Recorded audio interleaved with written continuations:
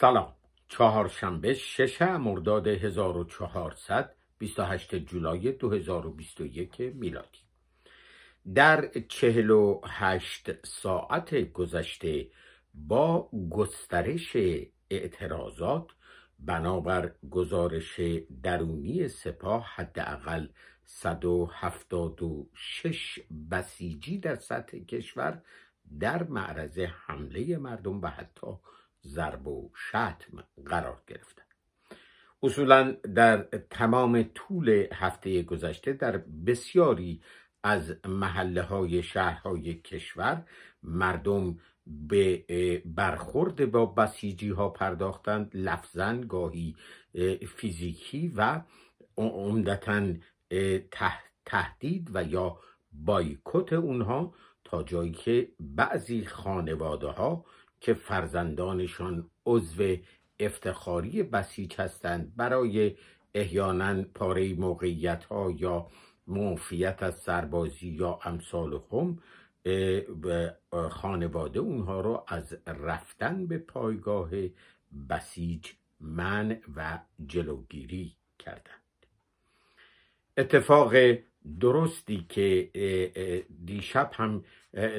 برنامه قبل هم که صحبت می کردیم گفتیم که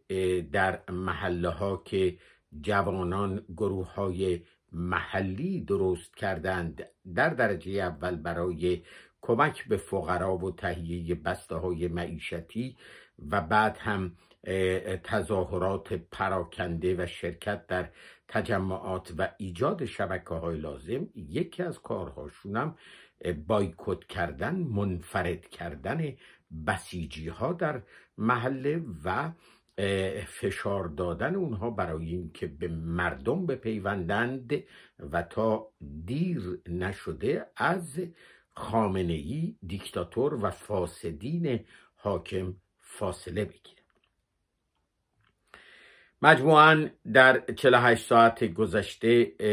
برابر گزارش های مختلف 139 شهر کشور ملتهب بوده که در اونها از پخش اعلامیه شبنامه آتش زدن بنرهای خامنه و نهادهای دولتی از کار انداختن خودروهای نظامی و امنیتی گزارش شده.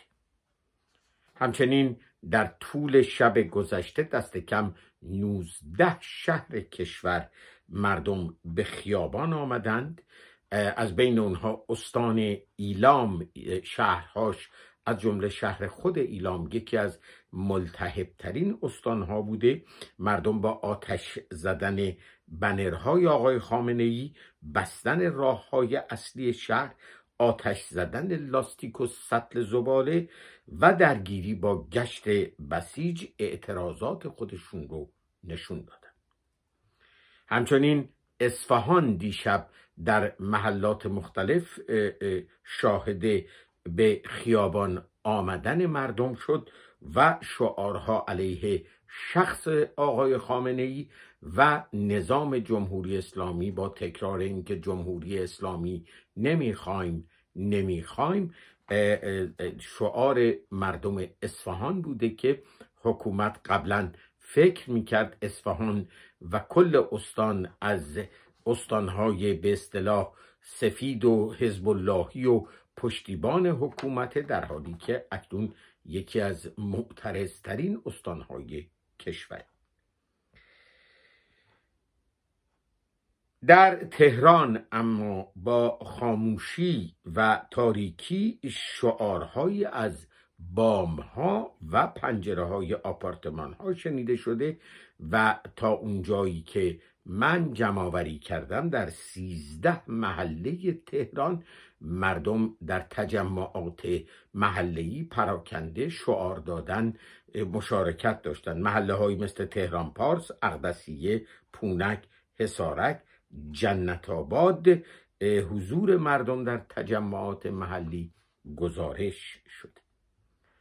از نوزده شهری که صحبت شد شهرهایی مثل عراق، سرابه، بهبهان، اهواز، رام هرمز، سبزوار، بجنورد، زاهدان و زابل هم از شهرهایی هستند که شعار مردم آتش زدن بنر تجمع و مرگ بر خامنه ای در اونها تنین انداز بود. بر صورت همانطور که قبلا عرض کردم ایران وارد مرحله ای داره میشه که در یک کلام مرحله است که یک انقلاب در حال شکل گرفتنه. انقلاب رو نه کسی ایجاد می‌کنه نه به خواست کسی به تنهایی به وجود میاد بلکه یک پروسه یک حرکت بزرگ اجتماعی است که به تدریج شکل می‌گیره و وقتی که عامه مردم اکثریت مردم حکومت رو دیگه نمی‌خوان و حکومت هم نمی‌تونه مشکلات اونها رو حل کنه چرخ انقلاب به حرکت در میاد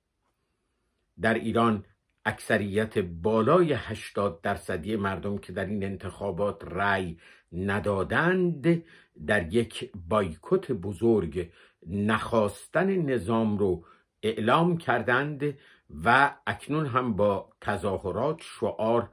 و حرکت های مختلف دارن این نخواستن رو نشون میدن و حکومتگران هم ناتوانی خودشون رو در حل مشکلات مردم کاملا نشون دادن. از وضعیت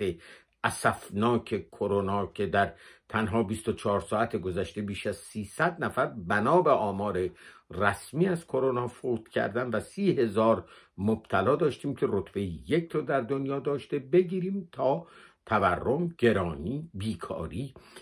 وضعیت آب و برق و همینطور مشکلات گوناگونی مثل فساد گسترده و امثال هم که گریبان کشور رو گرفته و حکومت از حل اونها ناتوان. اما سپاه پاسداران انقلاب اسلامی که از مدتی قبل حسب روش پرسر صدا و پرتبلیغات خودش بسته های معیشتی و لباس درست می‌کرد و سی هزار به اون رو به سی هزار زاغ نشین و هاشی نشین سعی می‌کرد برسونه. بنابر گزارش روزانه که از این حرکت تهیه می‌کنه دیروز در پاره ای از زاغه ها و هاشی نشین ها با قهر مردم مواجه شد و حتی اخشار بسیار فقیر متکدیان معتادان به مواد مخدر و الکل نه فقط بسته ها رو نپذیرفتند بلکه در پاره موارد با سنگ پرانی به این منادیان حکومتی حمله کردند و اونها رو از زاغه های خودشون بیرون کردن و حتی در کوی و برزن هم به تعقیبشون پرداختن به این ترتیب دیده میشه که این بیزاری از حکومت و پشت کردن به حکومت حتی در بین فقیرترین اقشار هم عمومیت پیدا کرده. اما بنیاد عبدالرحمن برومند کسی که همراه شاپور بختیار بود و وحشیانه توسط حکومت به قتل رسید و اکنون زیل نام او فرزندان او بنیاد حقوق بشری رو درست کردند. کار درخشانی کرده و سعی کرده تمام موارد قتل آدمکشی ربایش و دزدی حکومت رو در 42 سال گذشته جمع آوری کنه و 540 نام رو منتشر کرده که از این نام ها دست کم 397 نفر به قتل رسیدن توسط جمهوری اسلامی و یا ربوده شدند الباقی و این 540 مورد به گفته بنیاد برومند تنها ممکن است بخشی از جنایت های جمهوری اسلامی باشه و ای بسا افراد یا مواردی باشه که اونها هنوز دسترسی پیدا نکردند. اما آقای خامنه ای در صحبت که امروز در خداحافظی دولت روحانی داشت حسب معمول سعی کرد که خودش رو کنار بکشه نابسامانی ها رو به نوعی هم به دولت و هم به سیاست چشم به غرب داشتن و غیره موکول کنه و شانه خودش را از زیر بار مسئولیت خالی کنه. ولی ضمنا در همین صحبتش آقای خامنه ای افشا کرد که چرا نمی‌تونه مذاکرات وین رو بپذیره چون امریکایی ها بندی رو می‌خوان در مذاکرات بگنجونند که گفتگو در مورد مسائل موشکی و سیاست های منطقه جمهوری اسلامی باید ادامه پیدا کنه. و اینطور که آقای غریب آبادی نماینده جمهوری اسلامی در وین عنوان کرده امریکایی ها برداشتن تحریم ها و خیلی مسائل دیگر رو منوط به گنجاندن این بند کردن. به گفته آقای غریب آبادی 500 شخص و نهاد تحریمش رو امریکایی ها بر نمیدارند و قانون کاتسا رو هم که در 2017 تصویب شده لغو نمی کنند و به این ترتیب نام سپاه هم از فهرست گروه های تروریستی نمیپذیرند که بردارند. به امید پیروزی ایران و ایرانی.